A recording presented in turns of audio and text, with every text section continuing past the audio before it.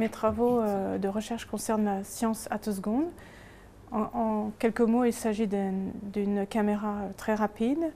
Euh, on, génère des impulsions lumineuses euh, très courtes du domaine attoseconde et ça veut dire des milliardièmes de milliardièmes de seconde.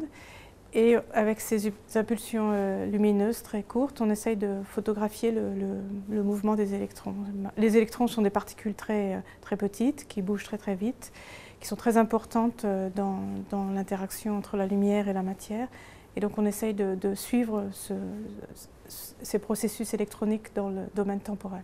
Toutes les grandes découvertes sont au départ de la recherche fondamentale sans idée d'application derrière.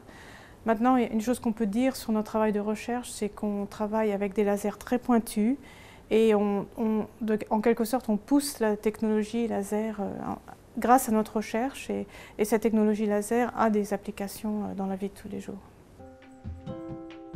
Il y a vraiment très peu de femmes euh, professeurs de physique en Suède et on est directement, on est, on est en, en, minorité. Donc euh, les questions arrivent tout de suite. Pourquoi il y a si peu de femmes en, recherche? Pourquoi il y a si peu de femmes euh, professeurs? Ce qui est important dans, le prix L'Oréal, c'est euh, que ce n'est pas uniquement un prix, c'est une sorte de...